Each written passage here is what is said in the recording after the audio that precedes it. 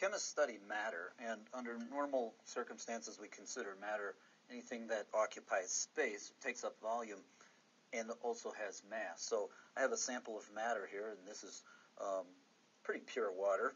And we might not think about water every day, but in fact, this is perhaps one of the most important compounds on this planet, and our planet wouldn't function the way it does without this compound, and obviously our bodies, which are large percentages of water, wouldn't either. So this is a very intensively studied substance, but we can use it as an example of, wait, a minute, how do chemists think? Um, do they observe only the macroscopic properties of a substance like this? Um, the macroscopic properties would include the clarity of the material. Um, water doesn't absorb much visible light at all. Doesn't smell, um, doesn't taste like much of anything. Pure water doesn't, and that makes sense when you think about the way our bodies and our senses are adapted. If we were highly sensitive, either through smell or taste to water, you can imagine, you know, our, our brains would be overloaded with the taste and smell of water. So these are the direct observations using my senses that I can um, make on this material. And one of the remarkable properties of water, and in fact any liquid, is that, for example, I can stick my finger in the water and my finger easily displaces the water. So if you begin wondering, how, how is that? How could that be? Why does water behave the way it does? And we do a thought experiment now. If we imagine magnifying the contents of this beaker and zooming in as if we had a microscope, an even more powerful microscope than exists currently.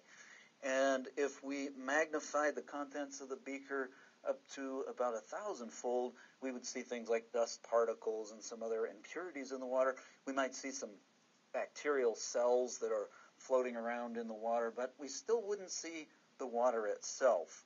So if we continued on our sort of journey magnifying the contents of the beaker and we went down another 10,000 times or magnified another 10,000 times past those bacterial cells, we would begin to see something very interesting.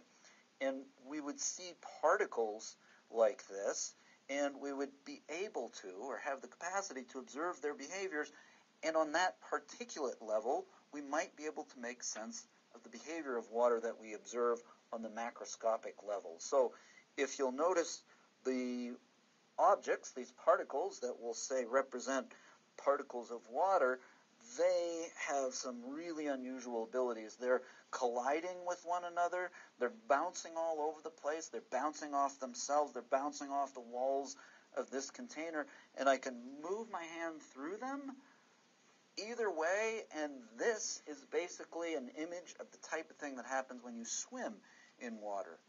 So the liquid properties, that idea that we can displace these particles, is explainable if we could see down on the particulate level. We have different techniques that we use to observe at that level, and that's a lot of what chemistry is about. So if we went beyond this level of magnification, and we went, say, a billion times more magnified than we see here at a one to one ratio, the macroscopic ratio, we might be able to see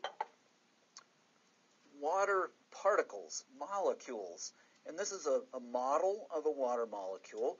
Some of the features of this model are, in fact, reflective of the true properties of the molecule, and other features are not particularly reflective of the actual molecule. But if we observe this particle, it's actually made of three different particles. These white spheres represent hydrogen atoms. This red sphere represents an oxygen atom. And the formula, the chemical formula of water is H2O. And this subscript represents two hydrogen atoms that are bonded to one another, excuse me, bonded to the central oxygen atom in the molecule. So we have oxygen and we have hydrogen. And I'm going to grab another marker. And these are elements. Water itself, a particle, is composed of these atoms of these two elements. When we magnify down to the particulate level in chemistry, we hit the molecular level. This is a molecule. And a molecule is a chemical combination of atoms. These spheres again represent the atoms.